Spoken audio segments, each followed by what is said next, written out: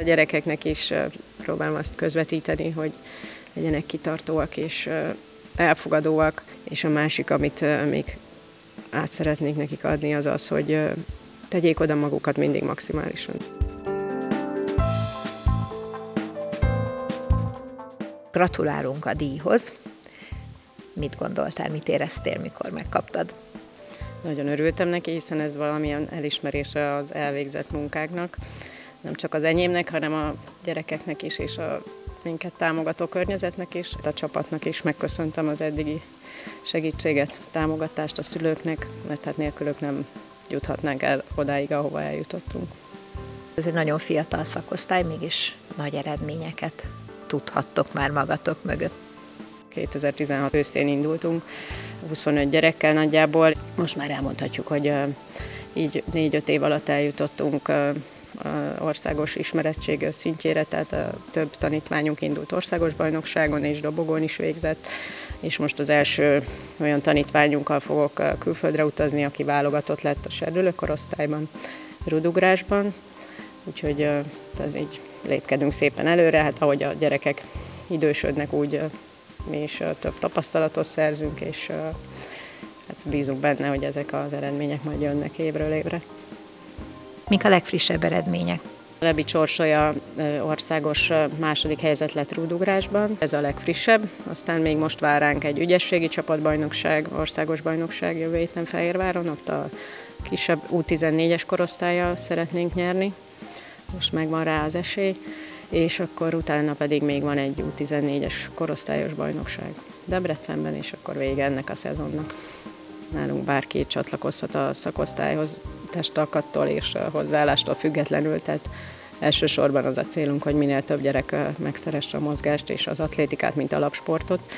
Ezért is csatlakoztunk a Kölyökből Atléta programhoz. A példa is azt mutatja, hogy szorgalommal nagyon sokra lehet vinni, tehát ez az elsődleges célom az, hogy a gyerekek tényleg hosszú távon is sportoló felnőttek legyenek.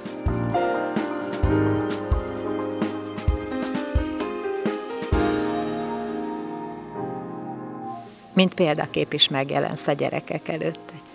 Korábban válogatott rúdugró voltam, de valójában én is úgy kezdtem, mint itt, ahogy a gyerekek szépen haladnak előre, hogy minden szakággal megismerkedtem. A 90-es évek közepén jött be a női rúdugrás, mint új versenyszám, és akkor kipróbáltam, mert általában én az ilyen adrenalindús dolgokat szerettem mindig is gyerekkoromban, úgyhogy ez így nagyon testezálló volt utánpótlás Európa-bajnokságon, tehát Európa-bajnokságon hetedik helyem van, aztán utánpótlás Európa-bajnokságon harmadik lettem, és hát voltam olimpián is Sydneyben 2000-ben, tehát igazából ez volt így a karrierem csúcspontja, úgymond, aztán sok-sok-sok sérülésem volt, és másik szakmába kezdtem el elhelyezkedni, amit tanultam is. De mit látjuk, a sporttól nem lehet elszakadni. A sporttól nem lehet elszakadni, lélekben mindig ott maradtam igazából, és mindig is nagyon hiányzott. Habár a nyelvtanulás és a nyelvek használata és az idegenforgalom az így magával ragadott évekre, de aztán itt a helyi lehetőségek okán végül is visszatértem ide a pályára.